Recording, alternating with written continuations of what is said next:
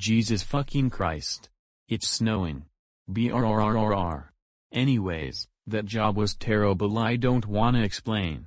But Sledge Bro will watch me at the next place I will work at, and I will work with Stinky Pete in his 131st job. Where should I work now?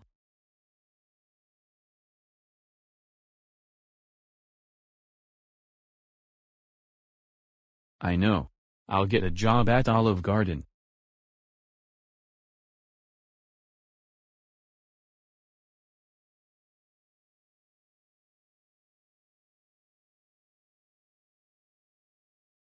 Bitches, listen up, Sledge Bro already has a healing factor. Let's start. Welcome to Get out of here right now. No Pokemon characters allowed. Fuck you for saying we're not allowed.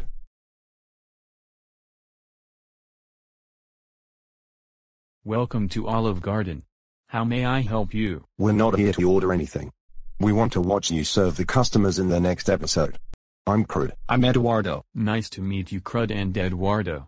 I'm Captain Jelly. Nice to meet you Captain Jelly. Anyways, we're leaving now. See you in the next episode Captain Jelly. Yeah. See you in the next episode, Captain Jelly. See you in the next episode Crud and Eduardo.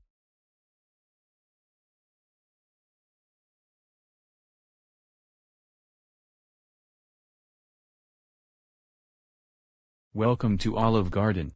How may I help you? I would like the seafood Alfredo, breadsticks, and Italian soda. And I would like the crispy Parmesan shrimp, and a medium Coke. I'm sorry, but the drink machine is broken. The drink machine is broken our fucking goddamn asses. No. You shitty employee. It's working just fine. You cunt bitch ass dick ass herd employee. That's it. For calling Captain Jelly those names, your orders are rejected. Get the fuck out of this restaurant now. Fine. We're going to Logan's Roadhouse for our date.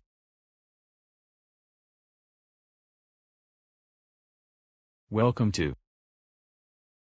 Hey. Get out of here. And what did I just say? No logos allowed. Go get run over by a school bus from Franklin Township. I heard that. Captain Jelly.